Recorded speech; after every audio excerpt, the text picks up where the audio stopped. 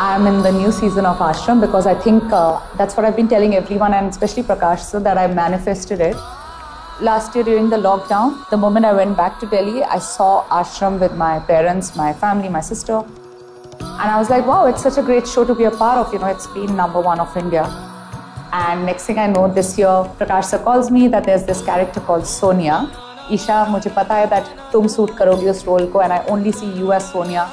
आपके अंदर जो भगवान है उसे दुनिया के सामने निकाल के रख दूंगी this character of a woman who is a kingmaker. I think the thoughts and the characterization and the and the story which Prakash ji has brought into it is a lot to do with what happens in the world around us. A lot of these big people use these kind of people to help them get name and fame, you know, even though they're not good people.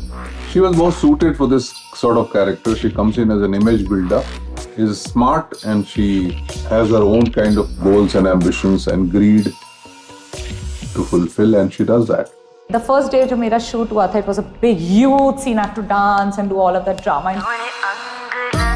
Series में ज़्यादातर गाने होते नहीं है and जब प्रकाश sir ने मुझे बताया था कि हम गाना शूट कर रहे हैं तुम्हारे एंड बॉबी के साथ उन्होंने मुझे गाना तब रफ था जो सुनाया बट जब मैंने सुना एंड उन्होंने कोरियोग्राफी दिखाई बहुत ही सुंदर बहुत ही सेंशुअल कोरियोग्राफी है वो हमारी दोनों की केमिस्ट्री दिखाने की कोशिश की है जो सोनिया एंड बाबा जी के बीच में सोनिया क्या कर रही है क्यों कर रही है वो गाने में एक रीज़न है।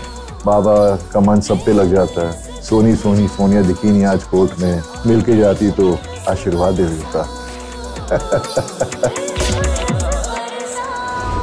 विमल प्रेजेंट्स एक बदनाम आश्रम भाग तीन।